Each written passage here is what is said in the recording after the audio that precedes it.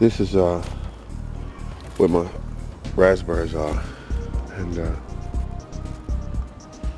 they look real pathetic during the, during the spring. I don't have a lot of them in here. Everything is frozen I'm stepping in. The, uh, the, the, uh, the leaves are deep. They'll, they'll go down. And then I got all of these. Let me get my strawberries out of this. Okay, there we go. They were stuck on the leaves. I don't want them there.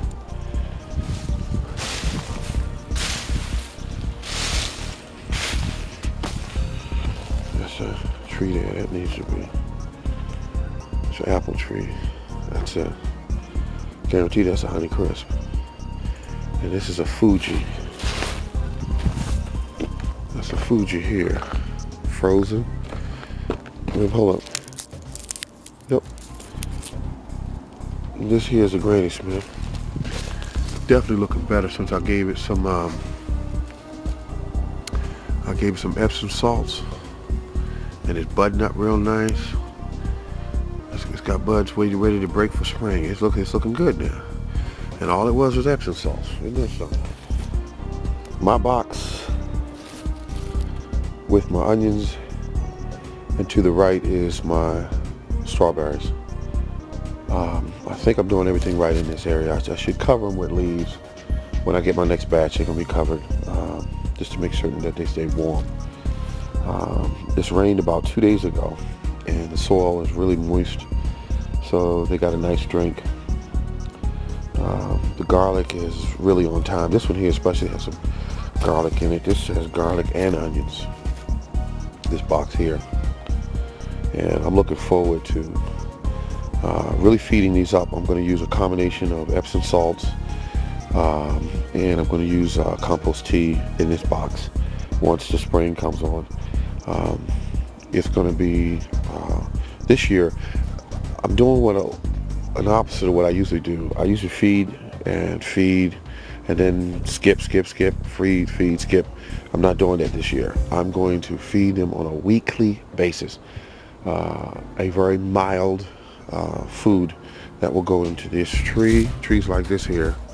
Uh, this is a cherry tree. This is one I'm going to graft uh, uh, on my um,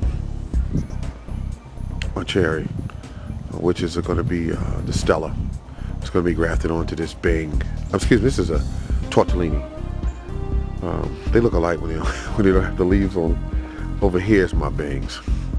And that's a Bing. That's a beautiful tree. That's absolutely a beautiful tree. Uh, but I'm going to graft that onto, I think I'm going to graft it onto the Bings um, so that uh, I can have genetics in my yard in more than one place. Because it would really be a bad thing if uh, if I lost uh, my plants due to the weather or disease or insects. Uh, so that's what I'm going to do. Um, these uh, strawberries here. I'm thinking, uh, should I cover them up with wood chips? Would that kill them? Would it not?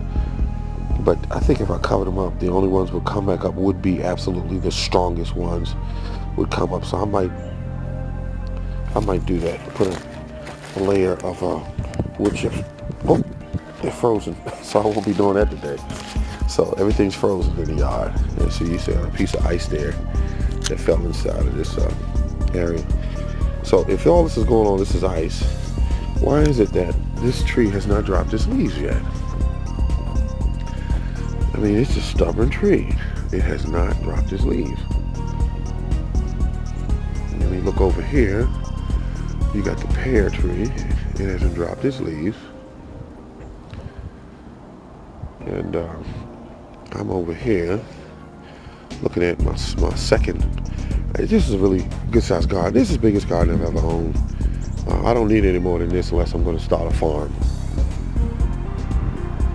And the key this year is going to be feeding, feeding, feeding. About very mild um, compost tea. Uh, I'm not buying any more of those um, those any man-made stuff over the counter I'm not buying any seaweed. I'm not buying any uh, bones meal or blood meal. I don't want none of that in my garden because these cattle, animals that they're killing. you put them in your garden. You don't know what kind of pharmaceuticals they use on them or anything.